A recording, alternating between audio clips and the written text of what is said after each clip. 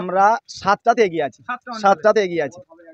আমরা তো মানে ওই ছাপ্পা মেরেও জিতিনি। খুব সুন্দর অনুভূতি লাগছে। কেন মানুষ চেয়েছিল পরিবর্তন সেটাই দেখিয়ে দিল মানুষ।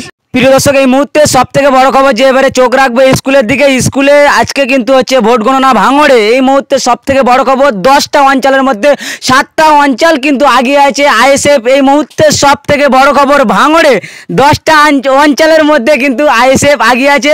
আপনাদেরকে জানিয়ে রাখি অবশ্যই যে যেখান থেকে দেখছেন ভিডিওটা বেশি শেয়ার করার চেষ্টা করবেন।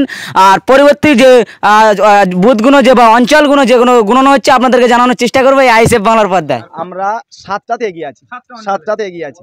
কোন কোন অঞ্চল যদি একবার বলেন? চালতে বেরিয়া শানপুকুর বগালি ওয়ান টু এবং পরিয়ার ওয়ান টু। পরিয়ার ওয়ান তো সুপার তারপর ভগবান ওই এখনই যেটা বলছিল তো দৌড়াচ্ছে কেন? জিতে গেছে দৌড়া কেউ? দৌড়ে দৌড়ে পাশ এগুলো হ্যাঁ, বলছে, আমি কি বললাম? বলে যদি মানুষ জিতে যাচ্ছে দৌড়ায়। এরকম তো মানে ওই ছাপ্পা মেরেও জিতিনি? আর ওই নমিনেশন ফাইল জমা দেওয়ার জন্য তার জন্য লড়াই করে জিতিনি কো? আমরা চেষ্টা করেছি মানুষ আমাদের সাথ দিয়েছে আমরা সেভাবে জিতেছি।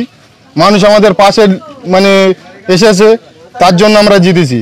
ঠিক আছে? তো আমরাও চাইব যে মানুষের কীভাবে ভালো পরিষেবা দেওয়া যায় ভালো কাজ করা যায়। এক ডাকে আপনাকে জনসাধারণ পাবে তো অবশ্যই অবশ্যই। যে ভাঙড়ের বুকের শাসক দলের নেতারা বলছিল যে ভাঙড়ে আইএসএফ জায়গা পাবে না আজকেই তার সার্টিফিকেট আপনারা দেখালেন। আজকে দেখেন না যে নেতা বলেছিল তার ভোটে তার বুথে পঞ্চাশটা ভোটে হেরে গেছে। যে নেতা বলেছিল ঠিক আছে? সে ভাঙড়তে পালিয়ে গেছে এখন। কতটা খুশি সার্টিফিকেট নিয়ে ঘুরছে? খুব খুশি খুব খুশি।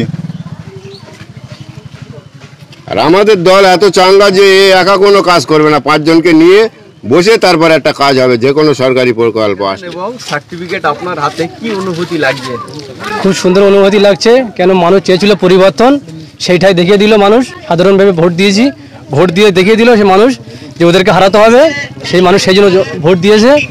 এবং ওদেরকে হারিয়ে দিয়েছে আমাদেরকে জয়যুক্ত করেছে। খুব আনন্দ লাগছে মানুষেরকে অনেক ধন্যবাদ।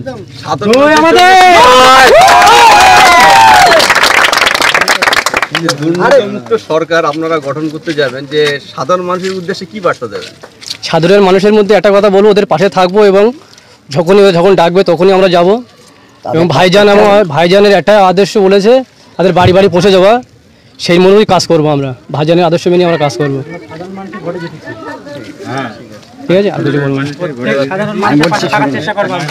পার্টি করার পরে চৌত্রিশের পরে ওরা ওরা জিতে গেছিল। জিতে যাওয়ার পরে ওরা এই তেরো বছরে তেরো থেকে চোদ্দ বছরে তেরো থেকে চোদ্দ বছর ওরা কি করেছে? সেটা সাধারণ যারা জনসাধারণ জানে। আমরা সাতটাতে এগিয়ে আছি। সাতটাতে এগিয়ে আছি। কোন কোন অঞ্চল যদি একবার বলেন? চালতে বেরিয়া শানপুকুর বগালি ওয়ান টু এবং পরিয়ার ওয়ান টু পরিয়ার ওয়ান তো সুপার তারপর ভগবান মিডিয়ার মাধ্যমে যে আরাবুল সাহেব একেবারে বার হয়ে তিনি বলেছেন যে আমরা দশটার মধ্যে নটাতে জিতে গেছি। জেলা পরিষদ তো বাকি আছে দৌড়াচ্ছে কেন পালাচ্ছে কেন ইট যা যা কি হবে? এই কেউ ফোন করো ওকে ডাকো না তো কি হবে? জেলা পরিষদ থাকতে হবে তো? জেলা পরিষদের তো প্রার্থী আছে। ডাকো ডাকো ডাকো কাকার ডাকো। জেলা পরিষদ তো আপনারা আশা রাখছেন যে আপনারাই জয়ী হবেন। সময়ের অপেক্ষা খালি। না প্রশ্ন করো।